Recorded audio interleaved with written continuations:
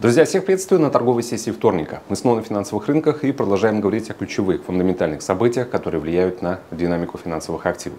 Не забывайте подписываться на наш YouTube канал Амаркет, оставляйте ваши вопросы в секции с комментариями и, конечно же, не забывайте ставить лайки.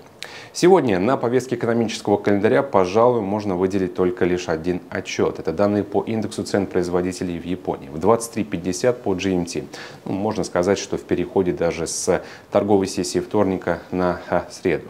Из других релизов э, ничего интересного, но мы готовимся к торговой сессии среды, когда нашему вниманию сразу будут представлены данные по инфляции в США и выйдут протоколы последнего заседания американского регулятора.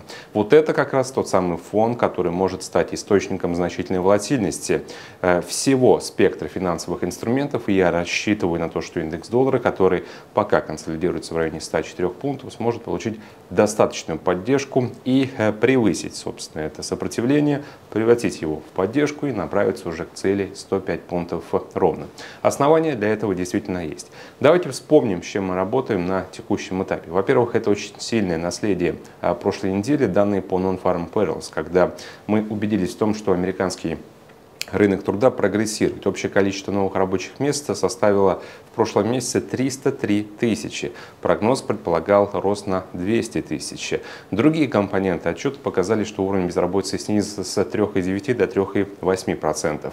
И даже покопавшись в динамике прироста заработных плат, мы тоже убедились в том, что они остаются на очень высоких уровнях, и это будет способствовать и уже, как есть, росту потребительской активности, и тем самым создает дополнительные условия для удержания индекса потребительских цен существенно выше целевого ориентира американского регулятора, который находится на 2% целевой э, отметке.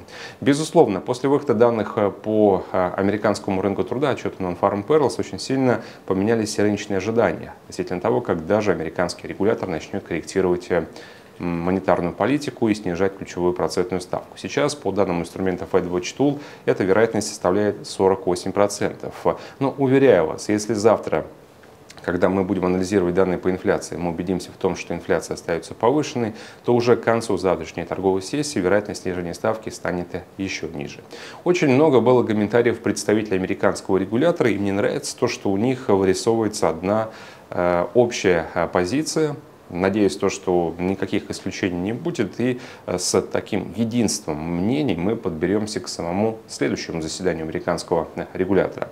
Из э, последних комментариев стоит отметить заявление главы Миннеаполиса Нила Кашкари о том, что из-за сильного рынка труда, конечно же, могут очень сильно измениться планы американского регулятора. И, может быть, не будет даже необходимости в том, чтобы один раз снизить процентную ставку.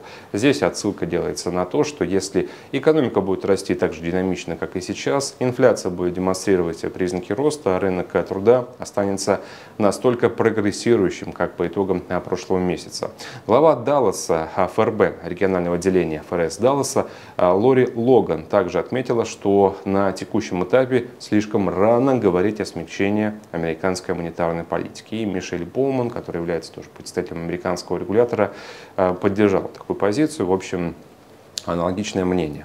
Я считаю, что э, в текущих условиях у нас нет оснований э, говорить о смене рыночных настроений, о том, что продавцы могут вернуться на рынок. Даже если они вернутся на рынок, это будет связано, скорее всего, с каким-то э, техническим паттерном, э, но не более. Фундаментальный фон за то, чтобы индекс доллара рос, американская валюта крепчала, и так будет продолжаться ровно до тех пор, пока американский регулятор не даст нам сигнал того, что он готов начать смягчать э, национальную монетарную политику.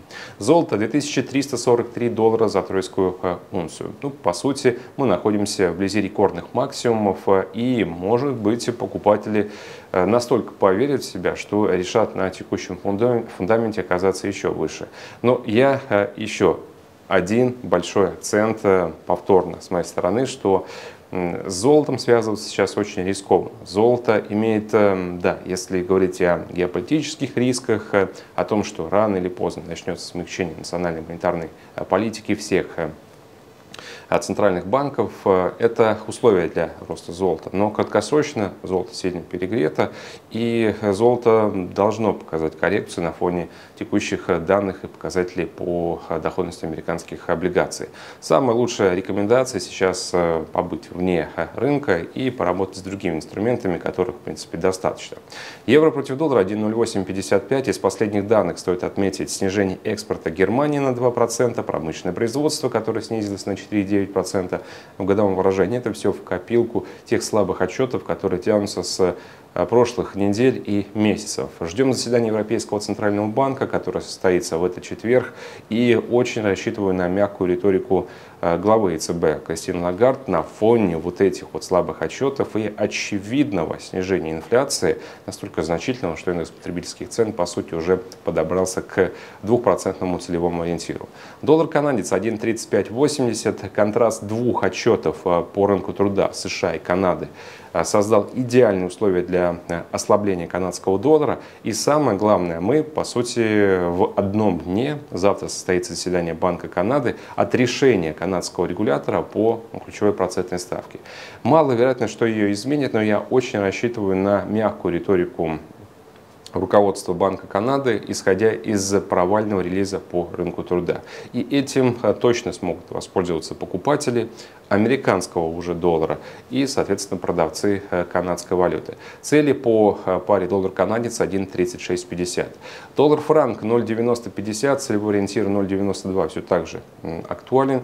Здесь в качестве основной идеи тоже можно использовать контраст, но прям конкретно монетарной политики. ФРС отказывается пока от того, чтобы снижать ключевую процентную ставку, и при текущем фундаментальном фоне вряд ли соберется в ближайшие месяцы.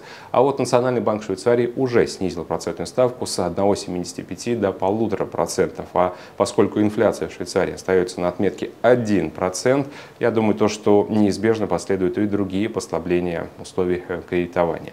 Путь вверх открыт. Биткоин 71 тысяча, две недели до халвинга. Ждем новые исторические максимумы. Доллар иена 151 1,86, 110 пунктов до нашего целевого ориентира 153 и спекулятивно все еще эта сделка очень интересна, потому что ни Минфин, ни Банк Японии, помимо того, что просто пугают рынок валютными интервенциями, пока, судя по всему, не готовы их задействовать. И что касается нефтянки, здесь тоже статус-кво, позиция наблюдения 90.65. Заманчиво, да, купить, учитывая то, что тренд остается восходящим. Но акцент делаем на фундаментальные фоны и признаки деэскалации напряженности на Ближнем Востоке. Израиль вроде бы как выведет часть военного контингента с э, э, палестинской территории. И, соответственно, если возобновятся переговоры при участии Египта, ну, я надеюсь, как и любой нормальный человек, э, могут сложиться предпосылки для достижения какого-то мира.